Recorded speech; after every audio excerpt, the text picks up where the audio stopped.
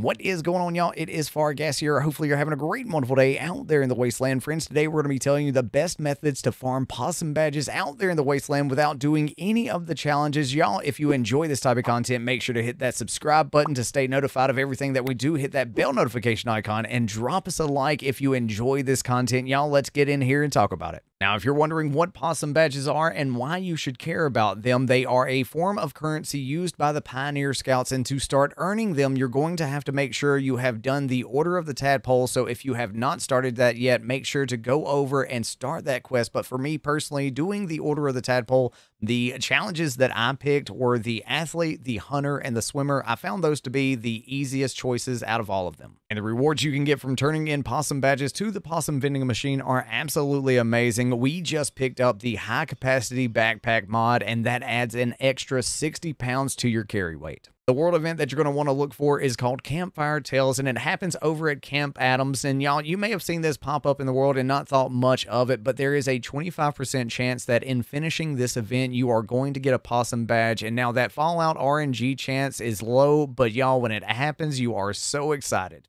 These next two are dailies that you should be running every single day that you play Fallout 76, and there is a roughly about a 25% chance for these two to spawn a possum badge on finishing it. The first one is called Operation Tidy. And what Operation Tidy involves is you go into Kiddie Corner Cabins to talk to Scout Leader Pompey. They're going to tell you to collect toxic mutagenic waste around the toxic valley. And like I said, it's about a 25% chance to get a possum badge from this, but it is something that you should be running absolutely every day that you play Fallout 76. It takes maybe five minutes to do. The next daily quest that you're going to want to do is called Stings and Things. And what this involves is you going to Dolly Sods Wilderness and talking to Scout Leader Treadley, and they are going to send you on a mission to collect insect parts. Now, these can be parts from all over the wasteland, and a great place to stock up on insect parts is while you're doing Campfire Tales or tea time. And personally to me, what I like to do to make this daily quest even faster is to keep 5 to 10 of each of these insect parts ready to go and then instantly take them over there to trigger the daily quest and then wait three to five seconds and then turn it right back in. And again, this is about a 25% chance to get a possum badge from this daily quest. As you can see right here, we did not do any of our possum challenges and we were able to get the high capacity backpack mod, which cost eight possum badges in about four days of playing. Now we got super lucky. And remember, you can trade these plans from the vending machine, so you may find them in a player vendor camp out there in the wastelands of Appalachia. Thank you so much for checking this video out on your busy day, and hopefully you found it entertaining and informative, and I would love to thank our channel members, Frugan, Just Jake, Herb, Cross, Blood, Sebastian, Nova, Prophet, Zach, CRM, Jesse, Blaze, Mataz, Bud, Cranberry Relish, Gravy Train, Bait, I am Mr. Me Not You, Quinn, Indy, Andy, Warfy, Warren, Blake, Homa, Patrick, Super Loki, Megsley, Katie, Bubby, Ghost, Petty, Lewis, Force, James, Purple Dazed, Ian, Darth, Zen, Jacob, Star Strafe, Matt, Stabby, Hokey, Unusual Leader, Dan, Nerdy Chick, Bo, Forever Here, Jay, Allen, Yeagar, Chewy, D20, Tonks, Nick, Roto, Igo, Alex, Alejandro, Crab, Egbert, Hammer, Dennis Event, and Articular. Thank you so much for supporting us